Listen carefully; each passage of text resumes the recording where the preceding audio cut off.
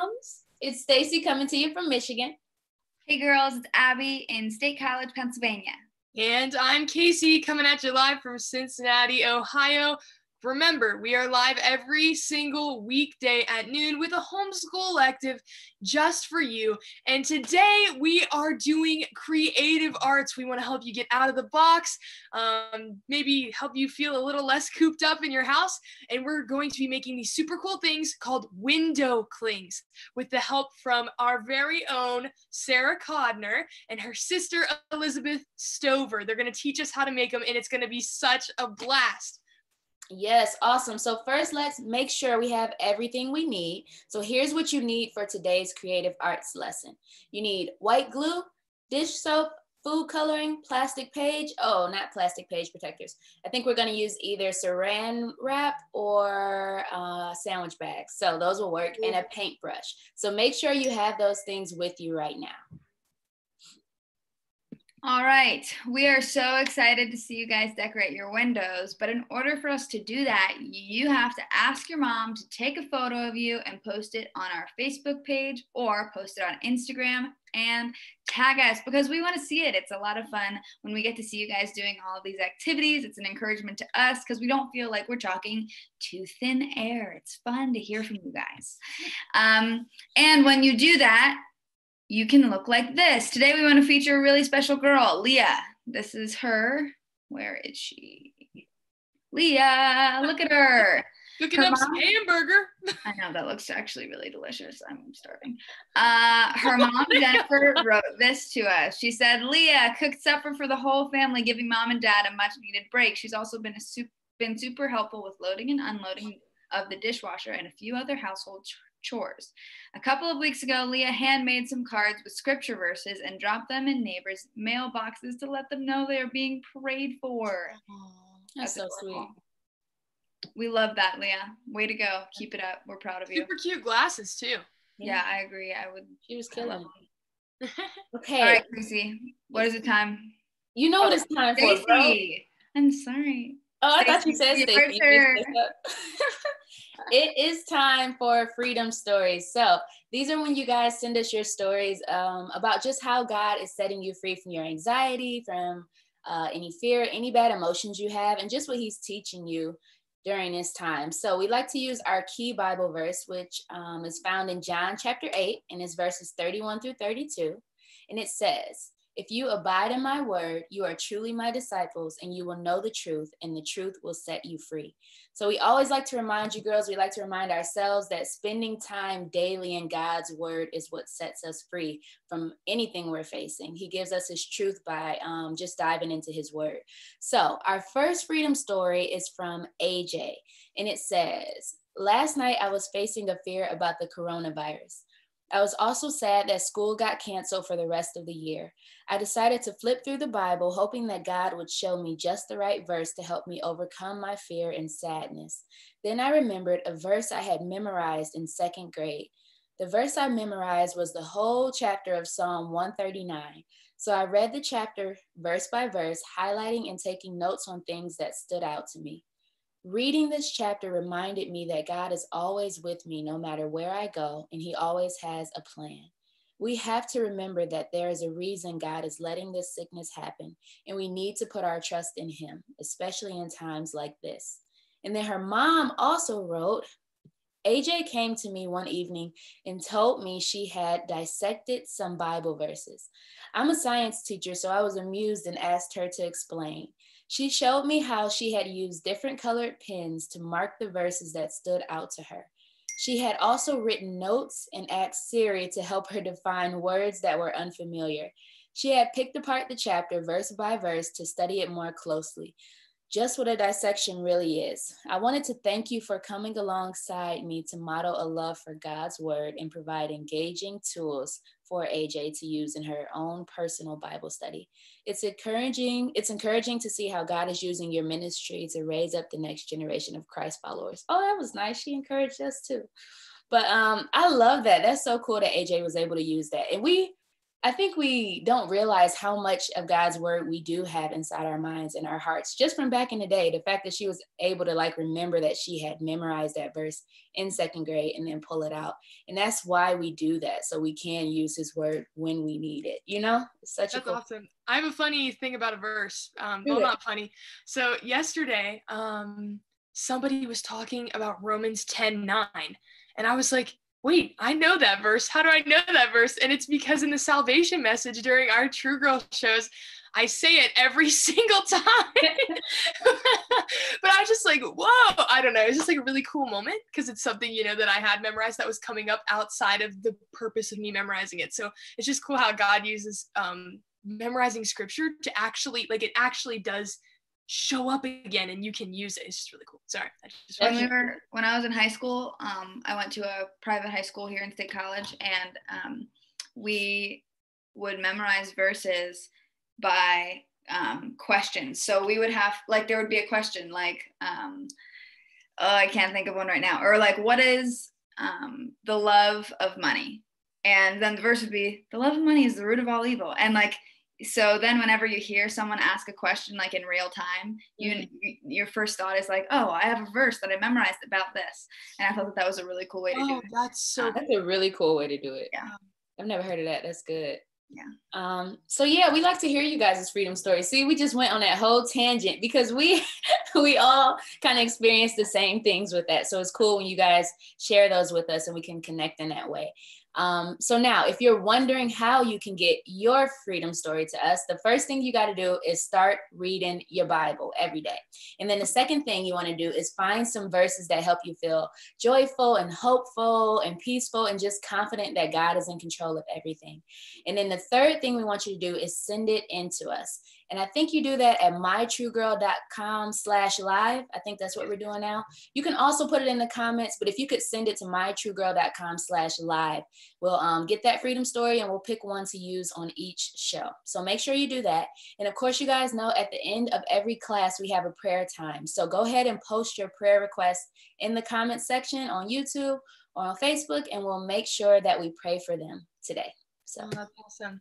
All right. So thank you, Stacy, for leading us in our freedom stories. Now I am going to lead all of you um, to our creative arts time. So believe it or not, I said earlier, Sarah Codner, she's our very own because she was actually on tour with us this past year as our very lovely resource manager. So if you bought a t-shirt, short t-shirt, t-shirt, or a tiny panda, it was probably from the beautiful Sarah. And she's also here with her sister, Elizabeth Stover. But I'm actually going to tell you guys a secret. There are actually three people in the room right now. Can you tell us why, Elizabeth? Because in about three weeks, Ah! Baby Stover will be appearing. um, that's so amazing. All right, guys. Well, I'll leave you three right to the crafts. Take it away. Thanks, Casey.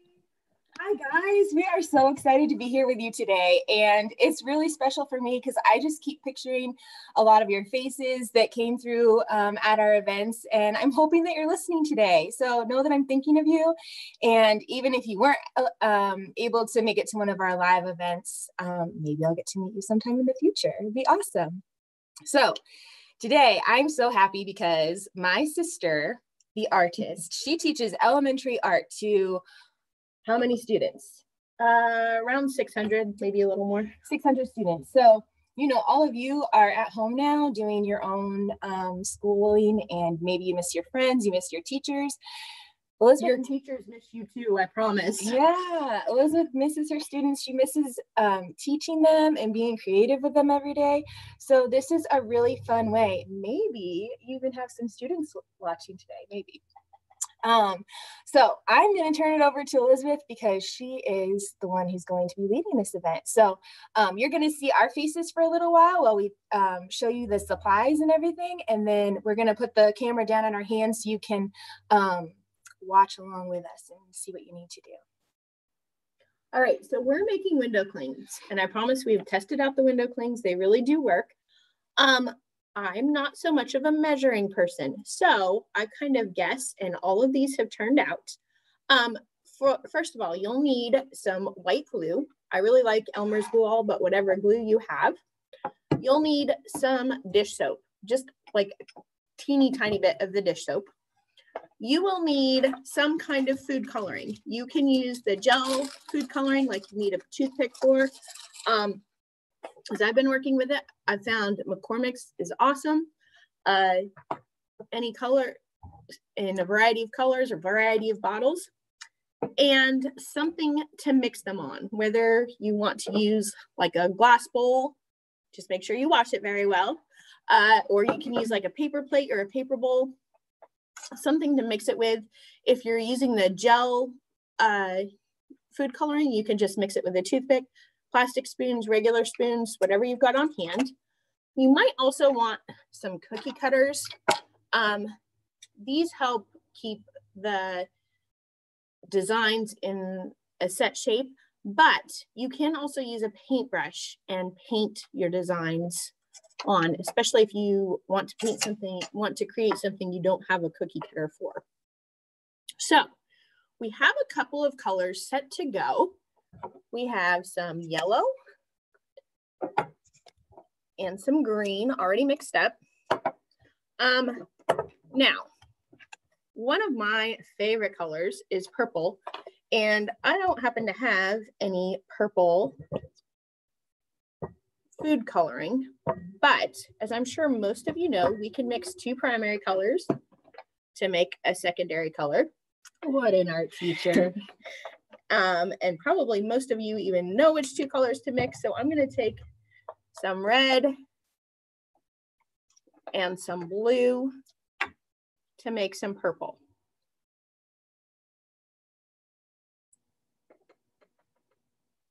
Looking good. Then you just take that in your container and however you would like, mix it all up. Uh, sometimes I think purple is one of the trickiest colors to make.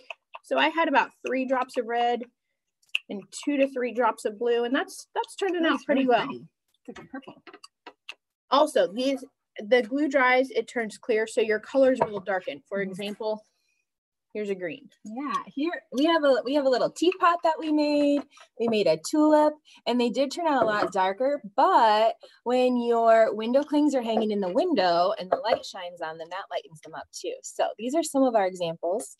Um, when you use the cookie cutter, it usually turns out quite a bit thicker. I don't know if you can see that, but it turns out thicker, um, and it's easier to pull off the windows. When you use a paintbrush, they're a little bit thinner.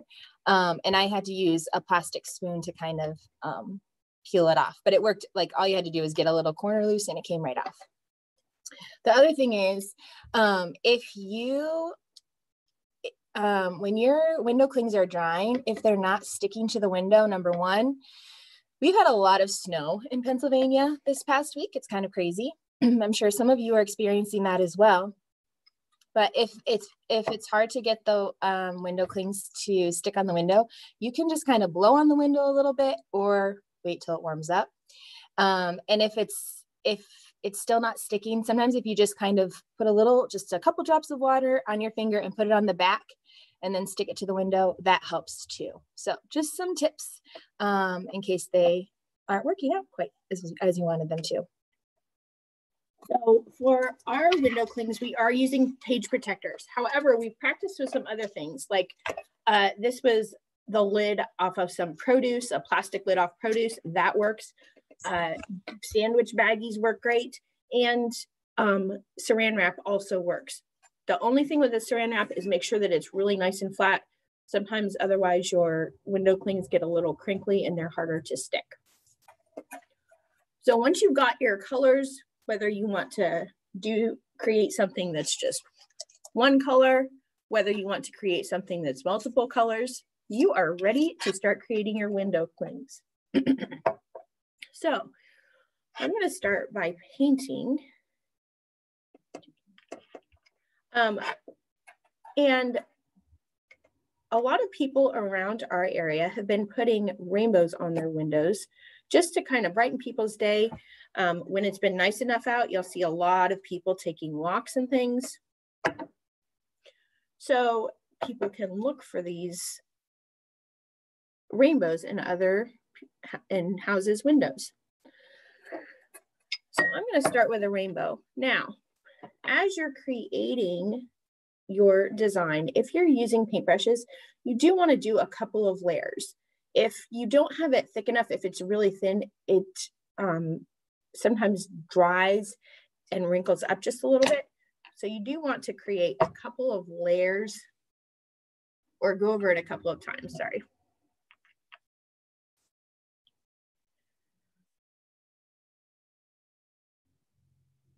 And you can even kind of just drip your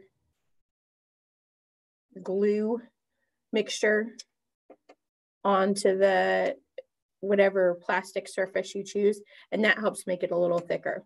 I also discovered if you kind of add colors um, a little bit at a, at a time, you don't necessarily want to go over the top of them too much. But if you put different colors, like inside a cookie cutter or so forth, it will give it sort of a tie-dye effect when it's dry. So Mm. that turns out really pretty. And I'm starting, as I said, with a rainbow. And I know in our world right now, there's been a lot of craziness, a lot happening, a lot of strange things that maybe like life has changed. Um, and one of the my favorite things about the rainbow is it reminds me of one of God's promises. And in Genesis 9 11, uh, God was talking to Noah and his family after they've been on the ark, and he was saying, Genesis 9:11, God says, I establish my covenant with you that never again shall all flesh be cut off by the waters of the flood, and never again shall there be a flood to destroy the earth. So God was promising that he'd never again destroy the earth with a flood. And he gave us this sign, the rainbow, that we see after it rains. Now, I live in central Pennsylvania. We get a lot of rain, but that means sometimes we see some pretty amazing rainbows as well. And when I was younger, I used to be a little confused. I don't know about you, Sarah, but I would be like, but wait, we still have floods. Yeah. Seriously. However, floods now are very localized. They don't destroy the entire earth. And so that's what God's promise means. He's not going to destroy the whole earth with a flood ever again. So I'm just about done with my rainbow for today. Oh, and one trick, sometimes it works a little better if you're making a rainbow to start in the middle with the size you want. I forgot to do that. But here's my rainbow. It looks so pretty. You can also use the cookie cutters and things. Let's, Um, let's show one of those. Let's pick. all right. Do you want to do it? Do you want a cookie cutter? So we have a lot of fun spring cookie cutters. Elizabeth loves baking sugar cookies. So again, uh, I mean, it's multi-purpose. You can use them for more than one thing. Um, but girls, so I think we forgot to mention too about letting them dry. These are going to take um, a few hours to dry. So you'll have to set them in a place where they're not going to get messed up, that none of your brothers or sisters' little fingers are going to get into them. Um, and make sure that they're dry before you try taking them off. But now, so Elizabeth did the freehand um, of the rainbow, and now we're each going to do like a little um, cookie cutter one. So you can watch us and see how we do that. Um, these are the ones that turn out a little thicker. And just so you know, if you're a perfectionist, um, these sometimes the the glue, the colors will seep out of the ends. It's really okay. Just sometimes I just press the cookie cutter down and then after it's all dry, you can um, peel the extra parts off. So I'm gonna make a tulip. What are you gonna make, Elizabeth? Yeah. So if you think about it, these are really fun. You could make them for all seasons, like Thanksgiving or Christmas, but it, it's really fun to have um, different shapes and stuff to do that have to do with the seasons. Um, the other day when we were practicing, I was trying to do some freehand stuff with a paintbrush. And if you're looking for e- easy things to make without a, if you don't have your cookie cutters, um, I'm, the rainbow is really good. Um, I made a cloud. I didn't really know what it was going to be. I think I was trying to make something else, but then it turned into a cloud and it was great. So sometimes you might start with one idea and it turns into another. So if you, as you can see, we're just kind of drizzling. And if you watch Elizabeth, she's like, I did the flower petal and uh, sorry, the flower part yellow and the bottom part green with the leaves. Elizabeth's doing a butterfly and she's um, doing those mixed colors using all everything she wants in there. The more color, the better, I always say. Agreed. Especially for something like this, it's going to be in your window and hopefully brighten someone's day. So we've been talking about colors and things, and as I said, the rainbow reminds me of God's promise. Well, Sarah, I don't know if you know this or not, but one of my very favorite verses for my whole life has been, since high school at least, has been um, Philippians 1 6. And to me, this is another one of God's promises. And Philippians 1 6 says, And I am sure of this, that he who began a good work in you will bring it to the to completion at the day of Jesus Christ. Hmm. And the reason I love that verse is sometimes in life we can feel like, oh my goodness, what on earth? Why am I here? What is my purpose? Life is so crazy. But if you are here, you're still breathing. God has a purpose for your life, hmm. and He is going to keep that purpose and He promises to fulfill it. That's so awesome. I love just remembering that, especially I think right now, it's hard to have that hope and just wondering like what God is doing. But um, we still have a purpose even today. Loving your family, um, obeying your mom and dad the first time they ask, and just trying to make their lives easier. Those are all things that we could and should be doing right now. And even I think these window clings, when you hang them up in your window, people are going to love seeing them as they walk by. You are spreading joy and cheer throughout your neighborhood. And hopefully, especially, I don't know, if you make um, rainbows, I'm really hoping that people are reminded of God's promise that He created the first rainbow as a promise to His people. And He has never broken that promise since. And He won't because He keeps all of His promises. So if he's going to not flood the entire earth again, never destroy it again, and he um, put a sign in the sky for that, just think of how much more important you are and your life and what he's going to do in and through you if you're just willing. Well, that brings me to one of my other favorite verses that is also a promise from God that um, so he's working in you. But Jeremiah 29 11 says, For I know the plans I have for you, declares the Lord plans of welfare and not for evil, to give you a future and a hope. So, again, God's got a plan for us. As long as we're alive, He's going to use us for that purpose. And He knows that plan, even though sometimes life does not make sense at all to us. Um, God has a plan and He will use it in our lives. So, we're just about finished. Sorry, I know the cookie cutters had made it a little hard to see, but if you look at Sarah, she like drizzled some pink in her yellow tulip, which is a really cool idea. It'll look awesome when it dries. Um, we hope you have lots of fun with this. Don't forget to clean up your brushes, your bowls, anything else you use, um, and clean up your mess. And then anywhere from like four to maybe even up to 12 hours, these should be dry and ready to stick on your window. Yeah. Guys, we can't wait to see you post your pictures um, on Facegram. Whoa, Facebook or Instagram. I can't get myself in here. Okay. Um, we can't wait to see you post pictures and um, spread joy uh, around your neighborhood. Thanks for joining us today. Thank you. Oh, I really, really loved doing that. Watching you guys, that was so fun. I loved your cloud. I'm not gonna lie. I don't know if anyone can make something that good. And thank you so much for um, sharing those verses. Um, they're really, really, really encouraged me. And I think I agree with the rainbows. Put those in your windows, girls. I think that'll really encourage a lot of people because a lot of people are like walking outside right now and everything. So um, also wish that Facegram was a thing. I know, right? We should make it. you and me, Casey. yes.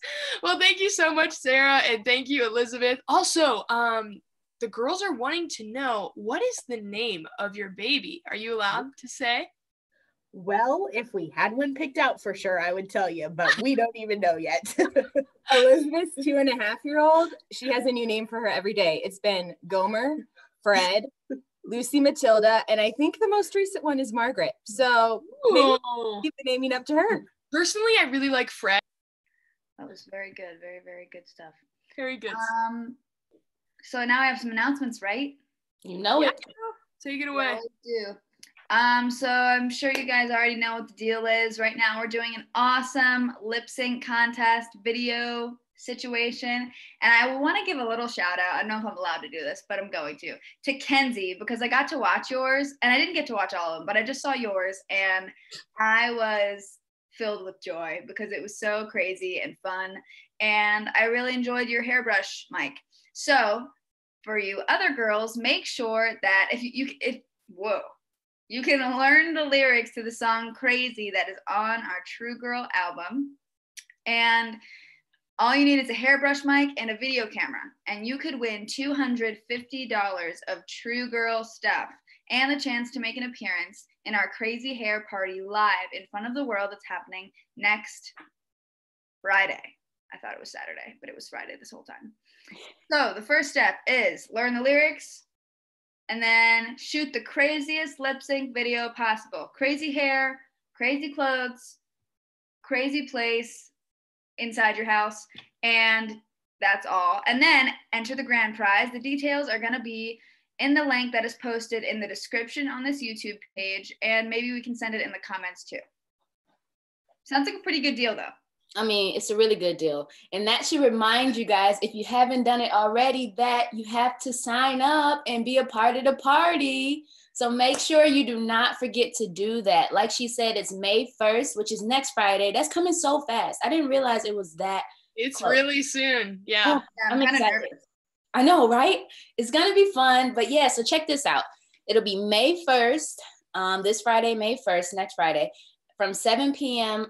to 9 p.m. And that's Eastern Standard Time. So if you were at the pajama party, well, not at the pajama party, but if you tuned in for the pajama party, you know that it was a blast. We're trying to have the same amount of fun, not even the same amount of fun, more fun. Oh, That's right. fun. We have to top it. We have to. We have to top it. So you played bingo and stuff last time. You don't know what you're gonna get this time, but it's gonna be great. So make sure you sign up for that at mytruegirl.com slash crazy hair, I believe. All right. Well, I think this is the end of the story for today. So you guys enjoy your weekend.